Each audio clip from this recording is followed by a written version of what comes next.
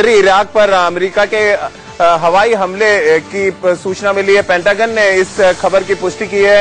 IS IS के ठिकानों पर अमेरिका ने हमला करना शुरू कर दिया है। हवाई हमले शुरू हो चुके हैं और आगे की जानकारी आपको अब आंचल देंगी। इस वक्त की बड़ी खबर आपको बता दें इस वक्त की बड़ी खबर आ रही है कि अमेरिका ने हमला कर दिया है खासतौर से आईसिस के जो कंट्रोल इलाके हैं इराक में वहाँ पर हमला हो गया है। राष्ट्रपति बराक ओबामा ने इसकी इजाज़त पहले ही दे दी थी और सवाल सिर्फ़ यही था कि आखिरकार कब तक हमले जो हैं वो इनिशिएट कर दिए जाते हैं। आ, हमारी इस बड़ी खबर पर नज़र बनी हुई है। पेंटागन ने भी हमले की पुष्टि कर दिया है।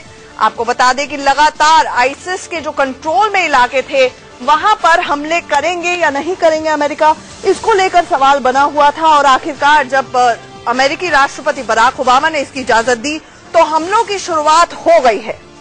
इस वक्त की बड़ी खबर आपको बता दें, अमेरिका ने इराक में आइसिस के ठिकानों पर हवाई हमले, एयर स्ट्राइक्स शुरू कर दी हैं। बड़ी खबर आ रही है और पेंटागन ने इसकी पुष्टि कर दी है। ये जो इलाके हैं, ये आइसिस कंट्रोल इलाके हैं, जहाँ पर हमले अमेरिका ने शुरू कर दिए हैं। इस वक्त की बड़ी खबर आ रही है। हम अपनी एग्जीक्यूटिव एडिटर शीतल राजपूत को भी जोड़ेंगे अपने साथ। शीतल ने एक्सटेंसिव दौरा किया था इराक का, जहाँ पर लगातार आइसिस का कंट्रोल जो है, वो बढ़ता ही चला जा रहा था। अब यूएस ने, यानी कि अमेरिका ने aircraft strikes Islamic state artillery in Iraq पर शुरू कर दी है। हमारे साथ हमारी executive editor Sheetal Rajput newsroom से जुड़ रही हैं। अब इंतज़ार हो रहा था शीतल की आखिरकार अमेरिका कब ये स्ट्राइक शुरू करेगा और अब पेंटागन ने पुष्टि कर दी है। आ, बिल्कुल पेंटागन ने इस बात की पुष्टि कर दी है और आ, अमेरिकी हवाई हमले जो है वो इराक के उत्तरी इलाकों पर शुरू हो चुके हैं। ये वो इलाके हैं जो कि आइसिस चरमपंथियों के कब्जे में हैं और पिछले काफ़ी वक्त से हैं। आपको बता दूँ आंचल की आ, अमेरिका को इतनी जल्दी इसलिए महसूस हुई यहाँ पर हवाई हमले करने की क्योंकि ये खबर आ रही थी कि आतंकी जो है आइसिस के वो इरबिल की तरफ़ बढ़ सकते हैं। अरबिल वो कुर्द डोमिनेटेड इलाका है और सुरक्षित माना जाता रहा है अब तक। लेकिन ऐसा कहा जा रहा था कि शायद ऐसा माना जा रहा है समझा जा रहा है कि आतंकी संगठन आइसिस जो है, उसके चरमपंथी जो है वो अरबिल की तरफ़ बढ़ सकते हैं। और वहाँ पर कई सारे माइनॉरिटीज के लोग हैं, वहाँ पर अमेरिका का वाणिज्य दूतावास है तो अपने लोगों की सुरक्षा के लिए, कुर्दों की सुरक्षा के लिए, और बाकी तमाम जो माइनॉरिटीज वहाँ पर हैं, उनकी सुरक्षा के लिए अमेरिका ने ये कदम उठाने का फैसला लिया है, और काफ़ी देर से ये फैसला लिया है। इससे पहले आपको पता ही है और याद है कि इराक की सरकार ने भी अमेरिका से अपील की थी कि वो आईसिस से निपटने के लिए उसकी मदद करे, हवाई हमलों के ज़रिए या ग्राउंड ट्रूप्स के ज़रिए। अभी भी आपको बता दूँ, आंचल की ग्राउंड ट्रूप्स कॉम्बैट ट्रूप्स जो है, वो अमेरिका डिप्लॉय नहीं कर रहा है। केवल हवाई हमले होंगे और ये लक्षित हवाई हमले होंगे। यानी टारगेट पहले से ही निर्धारित होंगे और उन पर चुन चुनकर हमले किए जाएँगे और ये हमले अब से थोड़ी देर पहले शुरू किए जा चुके हैं। आंचल।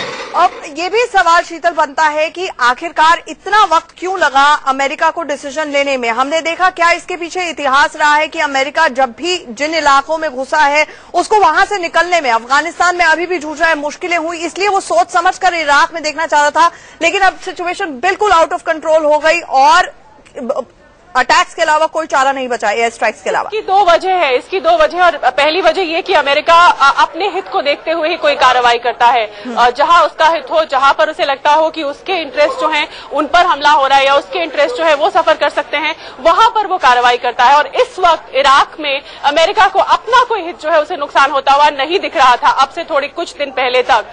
दूसरी वजह ये कि इराक और अफ़गानिस्तान जैसे मुल्कों में अमेरिकी ट्रूप्स आए और फिर चले भी गए लेकिन वहाँ उनकी काफ़ी किरकिरी हुई। कोई बहुत अच्छा उसका मैसेज ना तो अंतर्राष्ट्रीय समुदाय में गया और ना ही खुद जो डोमेस्टिक अमेरिकी लोग हैं उनकी तरफ़ इसका मैसेज गया और बहुत ज़्यादा इसका आर्थिक नुकसान भी अमेरिका को उठाना पड़ा और छवि जो है वो भी काफ़ी हद तक प्रभावित हुई। अब तो इस बार जी, शीतल, ये भी जानना चाहेंगे कि एयर स्ट्राइक्स लॉन्च कर दी गई हैं, लेकिन इससे पहले क्योंकि यूएस एयर स्ट्राइक्स जब भी इस तरह की करता है, क्या कुछ ग्राउंड वर्क भी तैयार होता है ऐसी एयर स्ट्राइक्स में कि सिविलियन ठिकानों में? क्योंकि आईसीएस का कंट्रोल लगातार बढ़ता जा रहा है सिविलियन कैजुअलिटीज ना हो, और इसे प्रोटेक्ट करने के लिए कोई मेजर्स होते हैं? आ, बिल्कुल इसलिए मैंने आपसे कहा आंचल कि ये लक्षित हवाई हमले हैं। यानी टारगेट जो है पहले से आइडेंटिफाई कर लिए गए हैं। पेंटागन की बा- बाकायदा मीटिंग्स होती है उनकी डिफेंस के जो लोग हैं जो अमला है वो पूरी मीटिंग्स करता है आइडेंटिफाई करता है। उनके पास बहुत सेंसिटिव इक्विपमेंट है उनके पास बहुत सेंसिटिव इन्फॉर्मेशन है। और क्योंकि ये वो इलाके हैं जो कुर्दिस्तान से। लगते हुए तो कुर्द आ, लोगों का भी सहयोग इस है। नज़र बनी हुई है। माफ़ कीजिए आपको रोकना चाहूँगी। एक छोटे से ब्रेक के लिए हमें रुकना पड़ रहा है